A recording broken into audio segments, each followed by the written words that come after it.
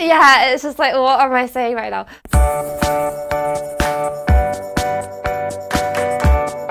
So my name is Jessica Paciej. I work as a conference producer at Citywire and I've been here since January 2017.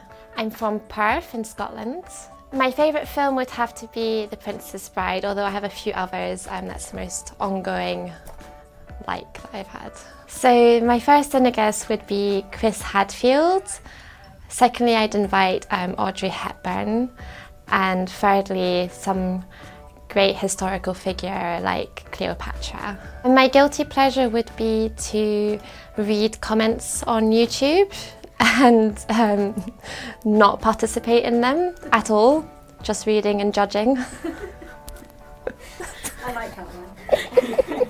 the last one I listened to was You Make Loving Fun by Fleetwood Mac. And you believe. Can't sing. it's, not, it's not going any further than that. My celebrity crush would have to be Eddie Redmayne. My most recent accomplishment was um, tweeting my first tweet last week. Thank you.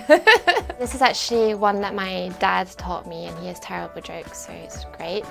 Um, it's about two men in a bar, one's called Aidan, the other Aaron. Um, Aidan asks Aaron, can you name three um, aquatic species with which begin by K? And Aaron goes, well, sure. How about um, killer shark, killer whale, and kill Malcolm? Aidan goes, kill Malcolm? Well, Aaron says, well, yeah, it's a Scottish place. Oh.